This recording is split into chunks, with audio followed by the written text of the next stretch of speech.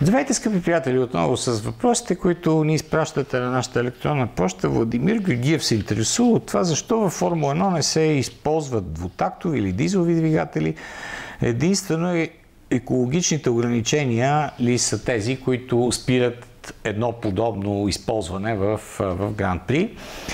В основата на формирането на правилата, разбира се, стоят екологични изисквания, но в най-голяма степен в последните години бе развита философията, че не бива да бъде Формула 1 далеч от първо намаляването на консумацията на гориво, това беше една от презумциите, от една страна, от друга страна да не е прекалено скъпа. И правилата в момента са така формулирани, че има абсолютно ясно изразени, написани точка по точка изисквания към двигателите и в тези изисквания фигурира правилото, че те трябва да са бензинови с 10% етанол в горивото.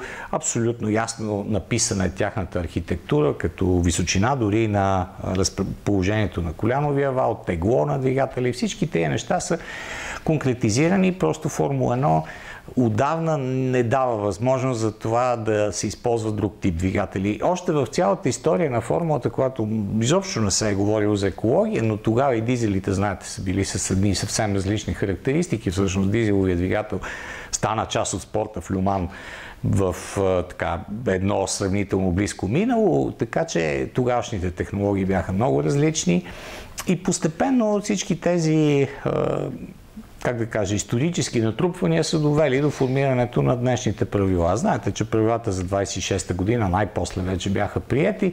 Там ще има нови промени, пак ще има допълнителни изисквания към горивата и още по-конкретни точно разпределени елементи в двигателя, които ще бъдат фиксирани. Там почти няма да има възможност, основен, както а, така се изразяват колегите, долната част на двигателя всъщност ще бъде еднаква и само горе в главите ще може да се правят някакви различни интерпретации от производителите. Така че това са неща, които ФИА като организация решила да фиксира и да насочва Формула 1 в тази посока до 2300 година. Тя да бъде абсолютно въглеродно неутрална цялата Формула 1, т.е.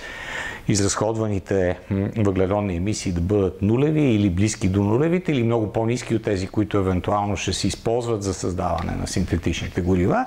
Така че това е посоката. Няма, няма никаква перспектива да се е, отдели Формула 1 от, от тази политика. Също така е много рано. И всички смятат, че е, създаването на напълно електрически двигатели, нищо, че има Формула Е, която има права за подобен тип е, автомобилни състезания с едноместни болиди в ФИА, е, е много далеч от перспектива за, за Формула 1, защото и тази технология е далеч от това, което Формула 1 ще предложи в а, така близко бъдеще. Сега Алпин, примерно, предлагат да се върви по посока на евентуално развитие на водородни двигатели. Дали това ще се случи, предстои да видим. По-скоро не, но вече тук говорим за след 2030 година, т.е. в едно малко по-далечно бъдеще. Така е съставена формулата, както няма задвижвания 4 по 4, за които сме говорили, подобен тип така свобода в изграждането на окачванията, всички тези неща в Формула 1 са фиксирани. Благодаря за въпроса, ще бъдем отново заедно скоро.